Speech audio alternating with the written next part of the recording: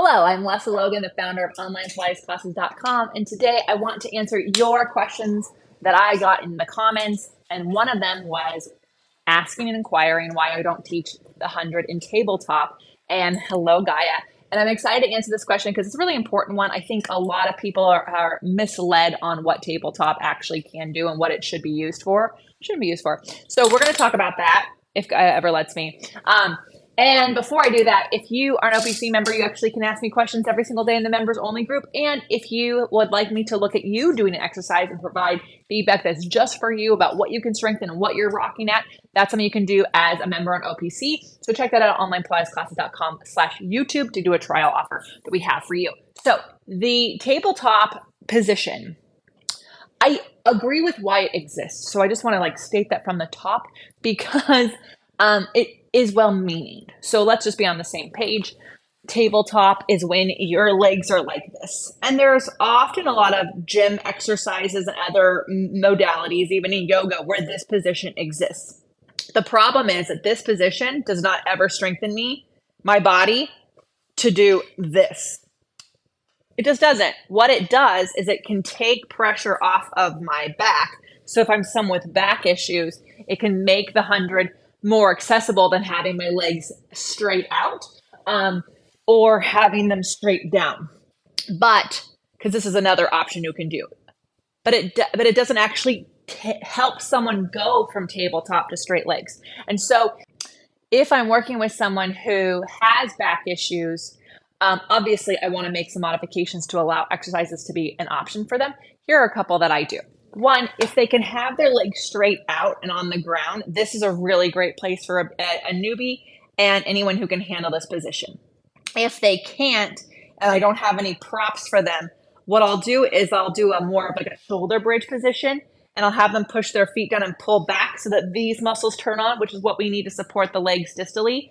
But ideally, I can put their legs on a bolster or a block um, let me show you what that would look like. A fitness ball, something that elevates the legs so it takes the pressure off the back, but again allows them to have straight legs. If I'm on a reformer, I can have their legs on a foot bar, and that's going to allow their legs to be elevated, taking that pressure off of the back, and they can work the legs in a straight position. So I can squeeze my legs together here. I can wrap my outer thighs.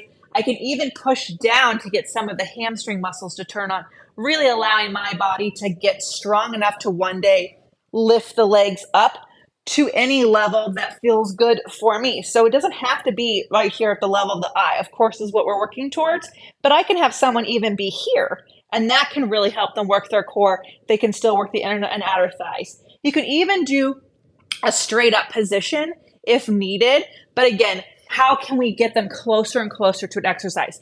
And I want to share a piece of advice that one of my favorite teachers many, many years ago gave to me. She said, modifications are like taking a loan from a bank.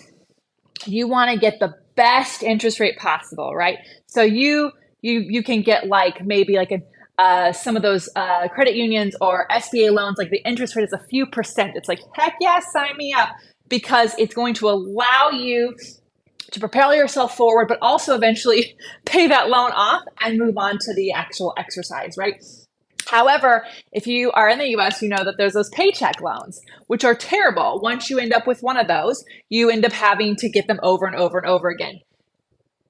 When I see a healthy body doing tabletop, that's how I see that modification because it's actually never going to allow them to do 100 with their legs straight without straining or using their hip flexors to do it.